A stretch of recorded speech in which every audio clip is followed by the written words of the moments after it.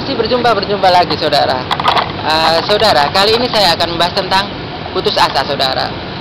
Pernahkah anda membaca uh, seorang pemuda karena putus cinta lalu mengakhiri hidupnya dengan gantung diri, atau seorang suami uh, meminum racun karena tekanan ekonomi, karena banyak hutang dan sebagainya saudara. Saya jadi teringat tentang uh, hidup saya saudara. Sebenarnya ada banyak uh, alasan untuk saya mengakhiri hidup saya saudara. Apakah itu dengan menyilet di tangan gantung diri atau minum racun? Itu karena sudah tidak ada pemasukan. Terus di perantauan saudara sekarang ini saya posisinya di Jakarta saudara. Uh, tidak ada pemasukan sementara hutang itu banyak saudara. Dan dikaruniai juga uh, istri yang spesial saudara. Itu adalah alasan yang kuat untuk saya mengakhiri hidup saya saudara. Tapi uh, di sisi lain saudara saya punya alasan yang lebih kuat yang uh, membuat saya tetap bertahan dan tetap berusaha untuk bersemangat dan juga tersenyum saudara.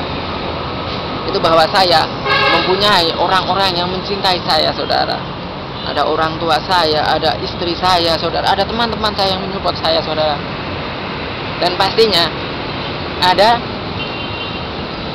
Rasulullah saudara yang sangat mencintai saya melebihi saya mencintainya saudara. Dan semoga uh, dengan kuasa Tuhan saudara itu saya diberi jalan. Entah itu dari arah mana pun yang tidak saya duga saudara. Yang penting saya berusaha untuk bisa menyelesaikan ini semua dengan baik saudara. Sebaik-baiknya saudara. Kalau mungkin uh, orang lain bercerita tentang kesedihan pada saat dia sukses, pada saat dia melaluinya saudara. Tapi kali ini saya akan bercerita uh, tentang kesedihan, tentang uh, kemirisan atau kepahitan pada saat saya mengalaminya saudara. Jadi kita share, berbagi semangat, berbagi senyum bersama saudara. Dan uh, ketika Anda mengalami hal-hal yang pahit, yang menghimpit saudara, kita sama dan mari kita berjuang saudara dan coba kita ingat saudara, uh, ujian kita kali ini itu belum seberapa dibandingkan dengan Muhammad Shallallahu Alaihi Wasallam baginda Nabi kita sebagai seorang Muslim saudara. Salam-salam dari saya Muda Tani.